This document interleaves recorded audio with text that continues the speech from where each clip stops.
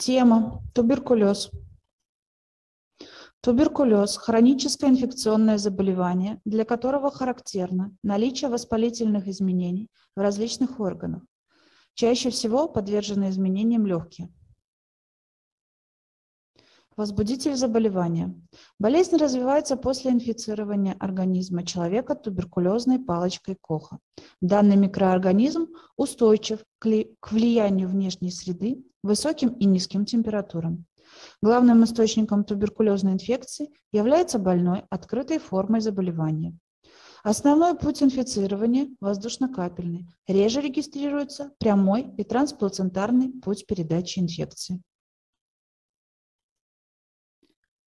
Среди факторов, способствующих развитию заболевания, выделяют следующие. Табакокурение, алкоголизм, наркомания, наличие хронических воспалительных процессов в органах дыхания и других органах, эндокринные заболевания, несбалансированное питание, низкая стрессоустойчивость, период беременности, неблагоприятные социально-бытовые условия.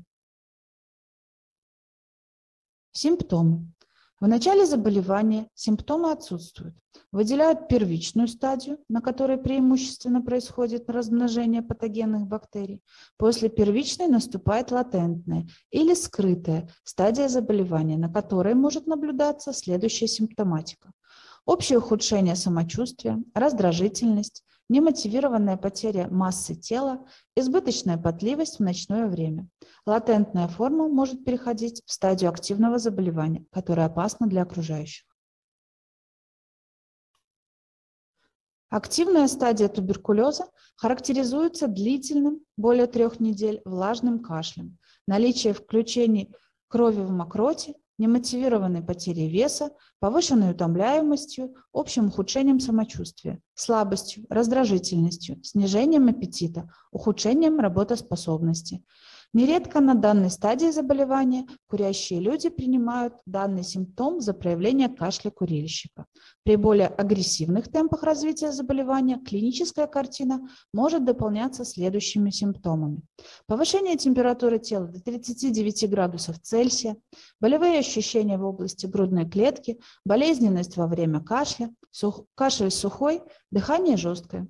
Больных на активной стадии туберкулеза госпитализируют в Республиканский научно-практический центр пульмонологии и фтизиатрии, где проводится лечение до прекращения бактериовыделения.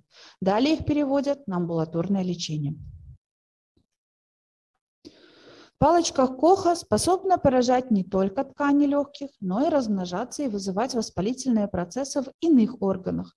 При такой локализации говорят о внелегочном типе заболевания. Симптомы заболевания зависят от локализации бактерий в пораженном органе. При локализации воспалительного процесса в головном мозге заболевание проявляется в повышении температуры тела, нарушениях функций нервной системы, увеличении затылочных и шейных мышц. При разгибании ног, наклоне головы к грудной клетке характерен болевой синдром в области спины. Туберкулезное поражение органов пищеварительной системы выражается в нарушениях дефекации и ощущении вздутия, болевым симптомам в области кишечника, наличием крови в кале, повышением температуры тела до 40 градусов Цельсия. Туберкулезной палочкой поражаются органы мочевыделительной и половой систем. Клиническая картина сопровождается повышением температуры, болезненным мочеиспусканием, болевым синдромом в поясничной области. Туберкулезное поражение кожи выражается в виде кожной сыпи, впоследствии образующей плотные узелковые образования. Уход за больными включает в себя гигиенический режим, диету Т, Широко используется санаторно-курортное лечение. Больной, больной туберкулезом требует к себе особого внимания. Необходимо разъяснять больному и его родственникам, чтобы, что туберкулез излечим, и многое зависит от самого больного, от выполнения им режима, своевременного приема лекарственных средств, отказа от курения и употребления алкоголя. Важное значение в уходе за больным имеет обеззараживание его биологических выделений, предметов повседневного обихода, влажная уборка с добавлением дезинфицирующих средств. Профилактика.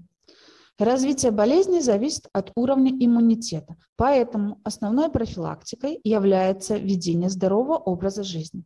Вакцинация детей против туберкулеза, регулярные пробы и тесты, позволяющие выявить заболевания на ранних стадиях, просветительная работа с населением.